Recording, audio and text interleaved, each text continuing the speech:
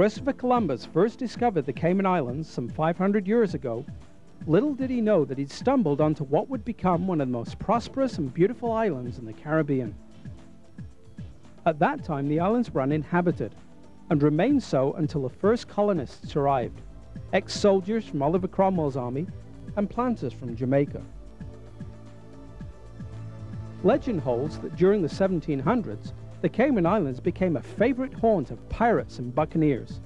And until as recently as the 1970s, the people of the Cayman Islands still relied largely on the ocean for their existence. Men traditionally went to sea aboard turtle schooners or merchant ships, while the women remained at home, tending the family and making the rope needed for the men's boats and nets.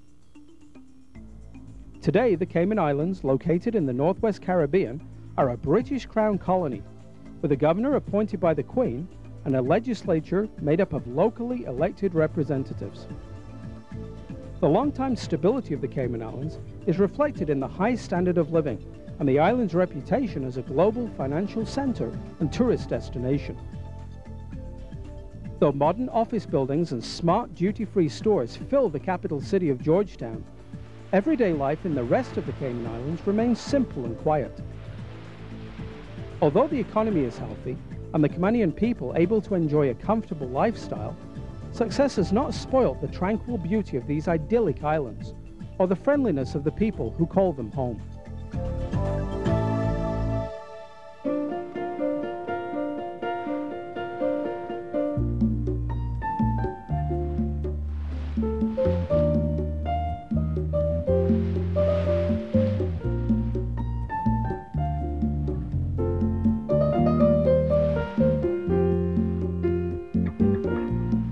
Today, the Caymanian people share their island paradise with approximately 1 million visitors each year.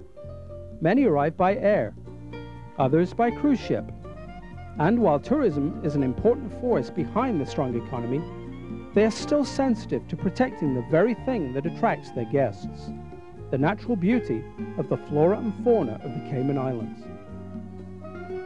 Unique animals such as the blue iguana, endemic to these islands, along with the endangered hawksbill turtle and green sea turtle, are legally protected, and breeding programs are in place to ensure their survival.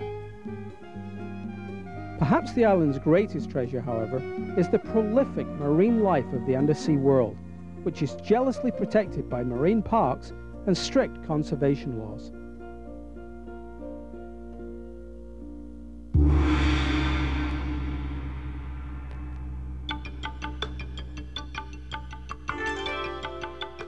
The spectacular coral reefs surrounding the Cayman Islands have established these islands as a world-class destination for the scuba divers and snorkelers who make up a large portion of the island's visitors.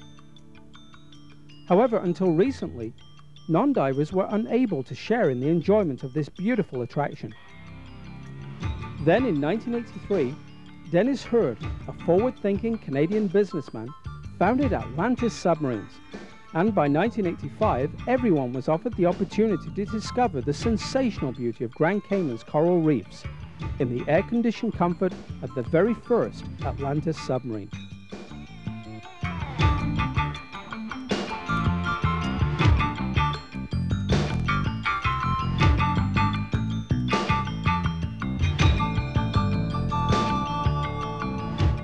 Today, there are 12 Atlantis submarines in operation around the world including Aruba, the Bahamas, Barbados, Hawaii, Guam, Cancun, Mexico, the United States Virgin Islands, and of course Grand Cayman. Using the latest space-age technology, Atlantis submarines are constructed in Vancouver, British Columbia and Washington State, and are certified by the American Bureau of Shipping. The submarines are fully air-conditioned, and because the cabin is kept at sea level pressure, there is no discomfort to your ears during the dive. Constant communications with the surface and complete duplication of all operating systems ensures the absolute safety of passengers and crew. Grand Cayman's Atlantis 11 submarine measures 65 feet in length and 13 feet across. The spacious cabin seats 48 passengers who observe the underwater sights through wide viewing ports along the sides of the vessel. During a dive, the submarine is forced below the surface of the water by powerful thrusters located along the top of the submarine. Should the thrusters fail for any reason, the submarine will automatically float right back to the surface. And unlike scuba diving, the pressurized submarine can ascend or descend quickly in perfect safety. Situated on the southern edge of the Georgetown Harbor in Grand Cayman, Atlantis headquarters are only a few steps from the cruise ship landing terminal and a short drive from the popular hotels and condominiums of Seven Mile Beach. Technology extends beyond the submarines at Atlantis. After a quick and efficient check-in at the Atlantis ticket counter, the soon-to-be submariners are treated to an interesting commentary and safety briefing during the short cruise to the dive site aboard the passenger tender. Photo opportunities abound from the deck of the boat. Suddenly, with a burst of bubbles, the Atlantis submarine surfaces alongside the boat, and with cameras clicking, the excited passengers get their first close-up look at the vessel.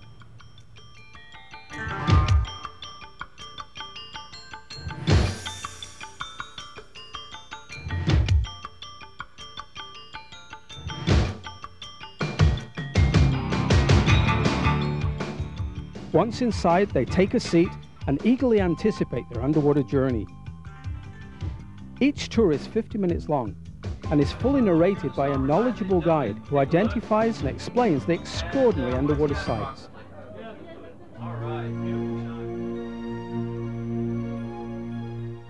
While no two dives aboard the Atlantis are ever the same, the variety of marine life seen is always astounding. Turtles are a regular sight. A close look at the turtle will reveal its gender. Female sea turtles have short tails, while males have noticeably longer tails. Colorful reef fish such as the blue chromis, rock beauty, four-eyed butterfly fish, and queen angelfish inhabit the reef and are easily viewed through the portholes of the submarine. Many angelfish, like the gray angelfish and the French angelfish, mate for life and are always encountered in pairs. On our premium tour, the Atlantis Odyssey, divers using ultra-modern underwater scooters join the submarine and perform underwater acrobatics. Sophisticated underwater communications equipment enable the divers to talk to the passengers inside and allow the passengers to ask the divers questions and hear their answers. The abundant and rather aggressive yellowtail snappers eagerly gather round for a handout of squid and other bait. The beautifully patterned parrotfish isn't tempted by the free meal, but is commonly sighted feeding on the hard corals that make up the reef structure. With teeth that are fused together to form a parrot-like beak, the parrotfishes are able to scrape and crush the hard corals, ingesting the algae that the corals harbor and excreting the crushed coral as sand. It's estimated that close to 60% of the fine white sand that you see on Seven Mile Beach is the result of the parrotfish's eating habits. Wide sand channels act like slow-moving rivers and drain the abundance of sand away from the reef. Closer scrutiny of the sand bottom reveals the surprising variety of animals living here. The queen conch is a common sight. Colonies of garden eels with their heads bobbing and weaving rise from their burrows. Sand tilefish, hogfish, and goatfish are frequently seen foraging for food in the sand. As passengers on the Atlantis Discovery Tour cruise along the top of the reef drop-off or wall, huge barrel sponges and heads of brain coral provide shelter for many animals, such as the Caribbean spiny lobster and the Nassau grouper. Look closely at the grouper, you might see that it's visiting a cleaning station. Cleaning stations are special places on the reef, where larger animals allow other fishes, usually juvenile wrasses or small gobies, to pick debris from their bodies. In this symbiotic relationship, both animals benefit. The cleaner fish gets fed, and the host fish is relieved of parasites. At some cleaning stations, the cleaning is done by a small, almost translucent shrimp known as a Pederson's cleaning shrimp. Cleaning stations are considered to be indicative of a healthy reef environment and are often encountered on Atlantis dives.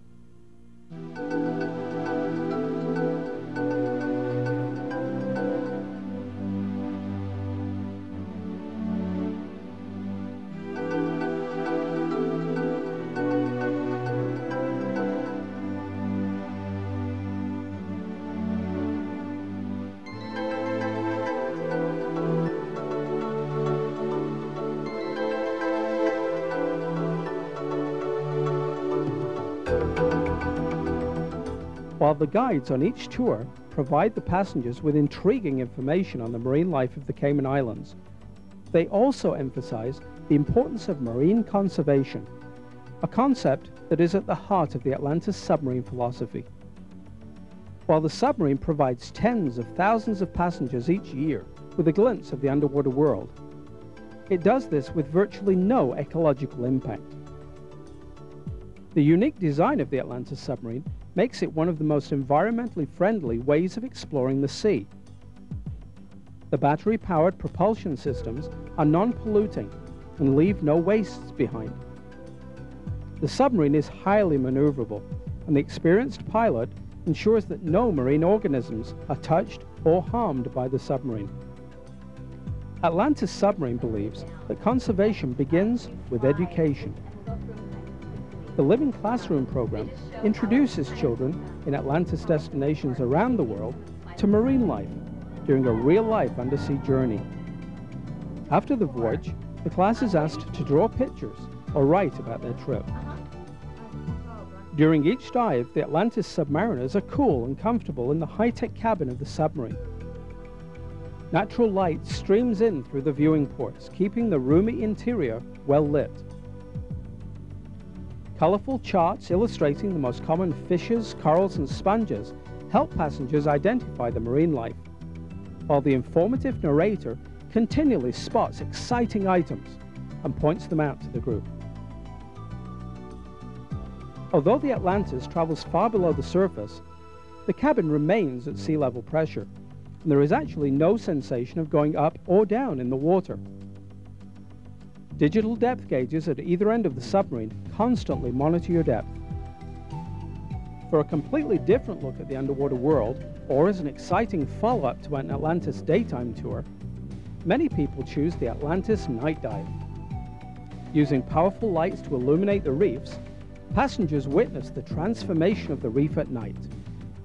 The corals, which appear hard and stony during the day, have extended their soft polyps to feed on the minute plankton in the water.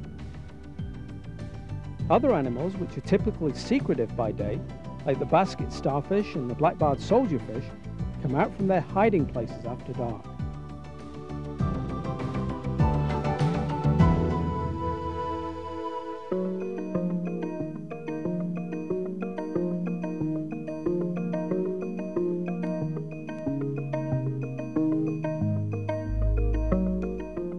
The Atlantis submarine is just one way to explore the incredible marine life of the Cayman Islands.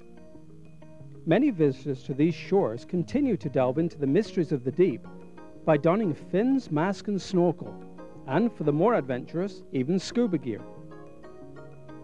The marine fauna of the Cayman Islands is protected by law, and many areas have been established as marine parks. Strict regulations help keep the marine ecosystem healthy divers and snorkelers are not allowed to remove corals, sponges, or shells from the sea, dead or alive. Spearfishing is strictly regulated, and lobsters and conch can only be taken during specified seasons and must meet size requirements. Many of the popular diving and snorkeling sites, such as Devil's Grotto, Trinity Caves, and the wreck of the Oro Verde, fall within the Marine Park Zone. Here, marine life is protected but diving and snorkeling are allowed. And boats are required to use fixed moorings rather than dropping reef-damaging anchors. The friendly southern stingrays at Stingray City are always ready to welcome divers and snorkelers. A truly unique experience, Stingray City has been called the best 12-foot dive in the world. Sandpaper rough on the top and silky smooth on the bottom, the stingrays can be safely stroked and fed here. Although they do possess a defensive spine at the base of their tail, they are not aggressive and they pose no threat to humans. An unusual fact at Stingray City is that almost all of the rays regularly encountered there are females, and many experts believe it serves as a nursery, with males residing on the outer edge of the reef near the drop-off. Another interesting and little known fact is that stingrays are closely related to sharks. Unlike other fish we see on the reef, sharks and rays have skeleton made of soft, flexible cartilage, not bone. Instead of scales, sharks and rays both have tiny little teeth called denticles embedded in their skin. This is why the stingrays at Stingray City feel rough. Like sharks, stingrays have five pairs of gill slits on the underside of their flat, disc-like body and a pair of round spiracles behind their eyes. The spiracles allow the rays to pump water through their gills, even when they're laying in the sand. Large tarpon, a fish well known to sport fishermen as a prize game fish, are regularly seen at dive sites such as Bonnie's Arch and Tarpon Alley. These big silvery fish often appear lethargic during the day, but become aggressive hunters at night, preying on small fish such as silversides and herrings. Another common inhabitant of the reef is the ominous-looking moray eel. Although the green moray may look threatening, with its sharp teeth and its habit of continually opening and closing its mouth, it really doesn't deserve its reputation as an aggressive sea monster. In truth, the moray must constantly open and close its mouth in order to pump water through its gills. Likewise, the menacing-looking barracuda is merely breathing when he opens and closes his mouth. He's not trying to threaten anyone. But barracudas are curious creatures, and they'll often hang around divers and snorkelers for several minutes. Not only is the marine life in the Cayman Islands considered top-notch, the dive operators who offer instruction and boat trips are often regarded as the best in the world. Adhering closely to safety requirements and recognized teaching standards, members of the Cayman Islands Water Sports Operators Association keep scuba diving and snorkeling just as safe as it is fun.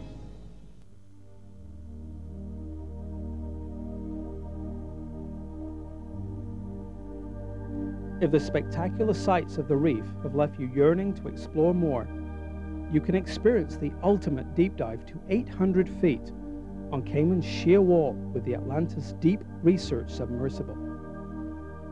Offering a dive available nowhere else in the world, Atlantis uses two Perry submersibles, which were originally built and used for petroleum exploration in the North Sea. The deep submarines, which carry only two passengers at a time, have been in operation in Grand Cayman since 1985. Each submersible is 20 feet in length with a cabin that's about 8 feet wide. Descent is at a rate of 60 feet per minute, requiring only 16 minutes to reach a depth of 800 feet.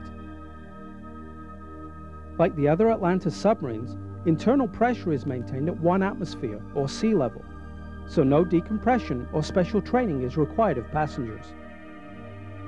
Seated in front of a massive 36-inch convex viewing port at the front of the sub, the two guests have a panoramic view of the underwater topography as they descend and explore.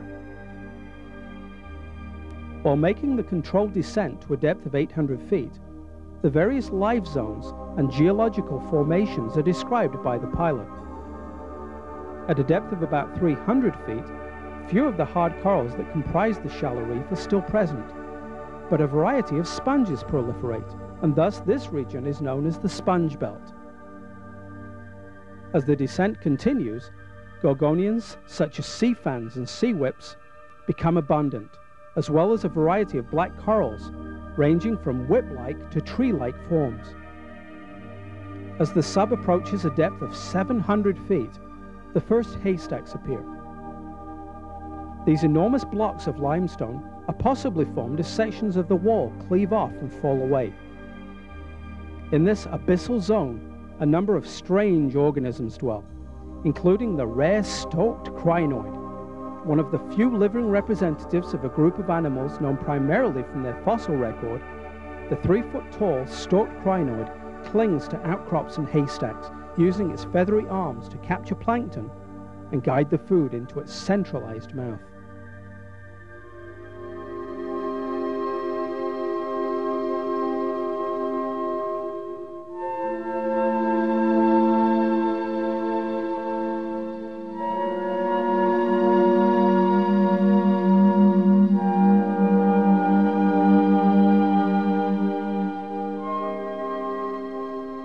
Reaching maximum depth, the sub begins a leisurely 45 minute ascent, which allows for close scrutiny of the deep reef. At a depth of 800 feet, the sub pauses to inspect the wreck of the Kirk Pride, a cargo ship that sank outside Georgetown Harbor during a winter storm in 1976. The wreck, which had been a local mystery for almost 10 years, was discovered in 1985 the wreck not only represents an exciting moment in maritime history, but is also valued by marine biologists as a gauge of marine growth on the deep reef, because the date of its demise is known.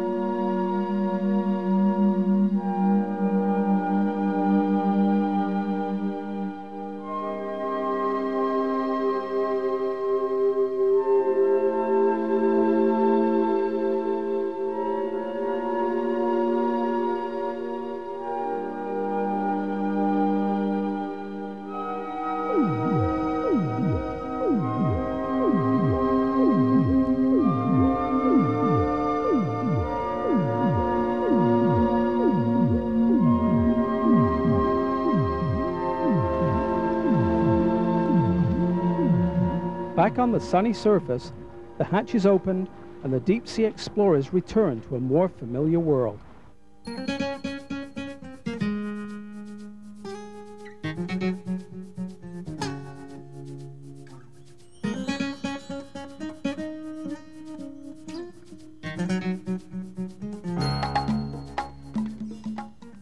Fun in the Cayman Islands is not limited to the sights under the sea. Grand Cayman is also home to the world's only turtle farm, where thousands of sea turtles from palm-sized hatchlings to 600-pound breeders can be seen. The Cayman Turtle Farm is renowned for its research, its hatch and release program, and its work with other endangered turtle species like the Kemp's Ridley. A trip to hell is always fun. The chance to mail postcards with a hand-stamped postmark from hell is irresistible to most visitors, a scenic drive out to the east end of the islands calls for a stop at the blowholes. Over the millennia, the constant surf action has eroded tunnels into the ancient shoreline rock that we call ironshore. As large swells approach, blasts of seawater are forced upwards through the rock, producing an exciting plume of spray. While touring the island, a stop at the Queen Elizabeth Botanic Gardens is a must. Here, numerous indigenous trees and plants are displayed in a natural setting. Several of Cayman's unique animals are here too, including the rare blue iguana. The history and culture of the Cayman Islands is beautifully represented at the Cayman Islands National Museum on the waterfront, a building which itself is a historical monument. Although there are many fascinating and exciting sights to see in the Cayman Islands, Perhaps the most popular is the sun as it sets on the horizon beyond Seven Mile Beach. Today, just as when Columbus first set foot on these islands hundreds of years ago, the Cayman Islands are a natural paradise, both above and below the surface of the tranquil blue Caribbean.